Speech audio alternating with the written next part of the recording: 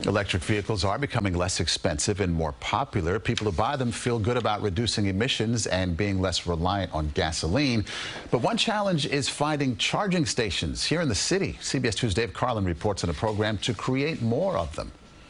The owners of cars you plug in are buzzing as they notice more places to charge their electric vehicles. Still, many more are needed. The more people buy them, the more infrastructure you get. There's not enough chargers out there, and the ones that are out there sometimes are not working. Roy Rada is a project manager at Con Edison, and his job is to be part of the solution.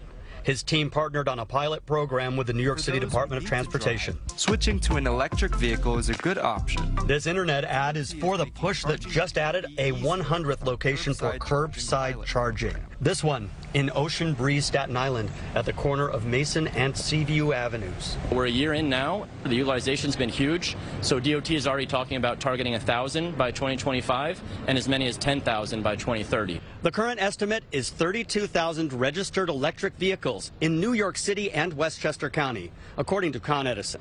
For the growing number of vehicles, charging is often found included with the price of parking in some underground Manhattan garages, but that can get pricey. The curbside locations are more affordable.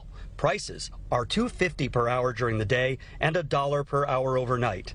That can mean approximately $20 for a full charge, which is a lot less than a fill up with gas. New York State has not gone as far as California in terms of mandating electric vehicle ownership, but Rada says that may be coming. For example, school buses are going to be fully electric by 2030. Uh, you know, they start with the city fleets that they control. He says there is a hope that the $7,500 federal tax credit and many other incentives one day get us to the point where going electric, no gas, becomes a no-brainer. In Ocean Breeze, Staten Island, Dave Carlin, CBS 2 News.